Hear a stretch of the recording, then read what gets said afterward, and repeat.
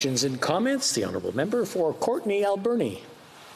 Uh, thank you, Mr. Speaker, and, and uh, I, I, want to thank the member for her speech. And one thing, I just want to pivot a little bit to a, a subject that we haven't touched on. And Mr. Speaker, we know that uh, CBC Marketplace just outlined that over 9 million Canadians right now have low credit ratings. They're going to alternative lenders that are charging outrageous amounts of between 30 to 50% annually for interest. That people are, are caught in that trap. Someone identified it as being in a hamster wheel. Um, it's absolutely outrageous since the Bank of Canada, uh, you know, uh, floor right now is less than 1% um, does my colleague agree that there needs to be a better process and that the federal government needs to intervene? Right now, it's on the backs of the provinces and actually cap these rates because we know more and more people are going to be falling into this trap, especially with COVID, with job losses, people losing their businesses, struggling to make ends meet to pay their bills, and they're looking for help and they don't qualify for financing. Does my colleague agree that the federal government needs to step in because I'm sure, like in every riding across this country, you can find these alternative lenders uh, preying on uh, everyday Canadians that are in trouble.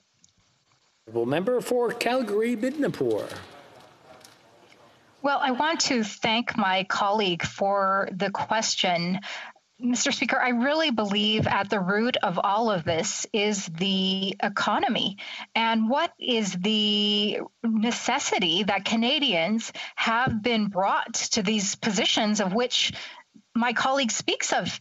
It's the economy, it's the loss of good paying jobs. And now, Mr. Speaker, we have added billions of dollars to the debt where we're at over 1 trillion 1.1 trillion 400 dollar billion deficit projected for this year and looking forward no way out of it as i've talked about for the last 12 minutes so I definitely share the concerns that the good member raises, but I think more importantly is why were Canadians brought to this place where they have to consider these conditions for loans and what are we all going to do to get out of it?